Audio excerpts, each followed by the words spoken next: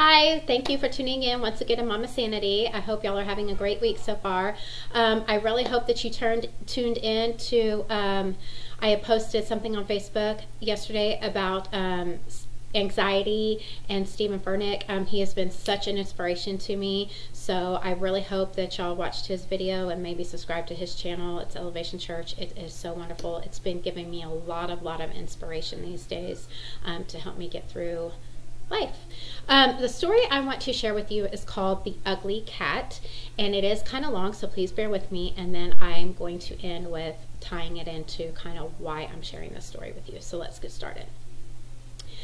Ugly Cat. Everyone in the apartment complex I lived in knew who Ugly was, and he was the resident tomcat. Ugly loved three things in this world fighting, eating garbage, and shall we say, love. The combination of these things combined with the life spent outside had their effect on Ugly. To start with, he had only one eye, and where the other eye has been was a gaping hole. He was also missing his ear on the same side. His left foot had appeared to have been badly broken at one time, and it healed out of an unnatural angle and making him look like he was always turning the corner.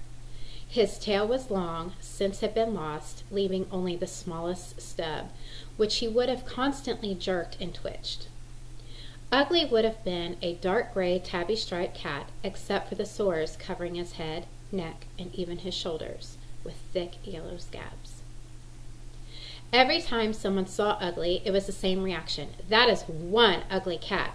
The children were warned not to touch him, and the adults threw rocks and hosed him down, squirted them when he tried to get in their homes, or shut his paws in the door when he would not leave. Ugly always had the same reaction. If you turned the hose on him, he would just stand there, getting soaked until you would give up and quit. If you threw things at him, he would curl his lanky body around the feet in forgiveness. Whenever he spied children, he would come running and meowing frantically and bump his head against their hands, begging for their love. If you ever picked him up, he would begin sucking on your shirt, earrings, or whatever he could find. One day, Ugly shared his love with the neighbor's huskies. They did not respond kindly, and Ugly was badly mauled.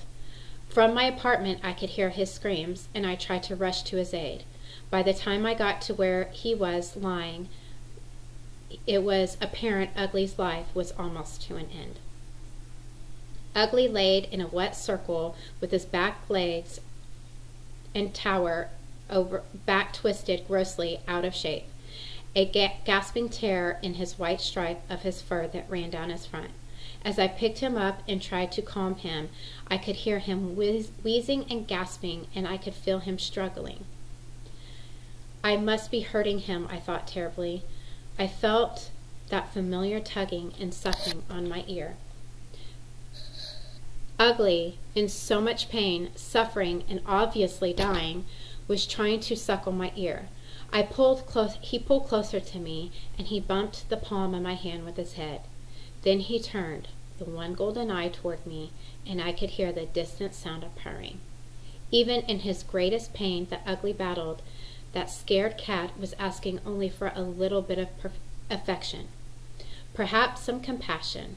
At that moment, I thought Ugly was the most beautiful, loving creature I had ever seen.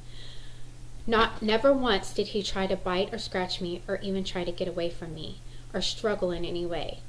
Ugly just looked at me completely trusting in me to relieve his pain.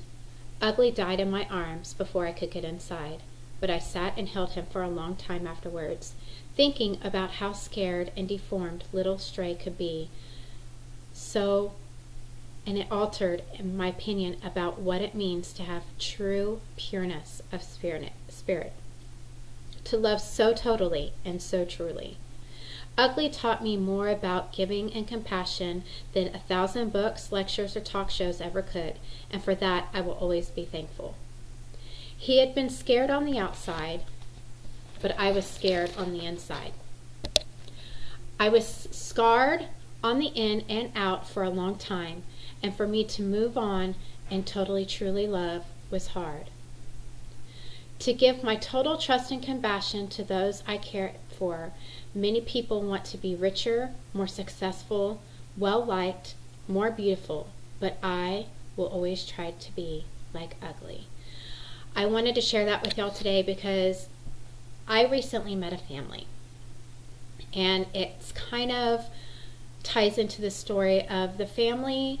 They look rough around the edges. The dad looks rough around the edges. Um, they all do. They've they've had a really hard time. Okay, the dad is raising the two kids by himself. The mom didn't want anything to do with the kids. Um, left a long time ago, and the dad is um, trying to do all this on his own. He's had um, a really hard time. He's gone through a lot of rough and bad things. And when you first look at this family or see the dad, you might think, I don't know if I would trust him or, you know, something to that effect. You're judging a book by its cover. Yes, he's had a rough past. Yes, he looks a little rough because of his past. However, in getting to know him and his family, he is so nice, and his daughter is just sweet, loving, and very respectful beyond means. Okay, and it really taught me a lot. It taught me no matter what, it, it showed me that no matter how hard things are in my life, it could always be a lot worse. And in meeting this family, my heart broke for them because they're really kind of bad off right now and i just i it, it, broke my heart. And i wanted i asked god you know god to show me how i can help this family in any sort of way you know anything that i can do.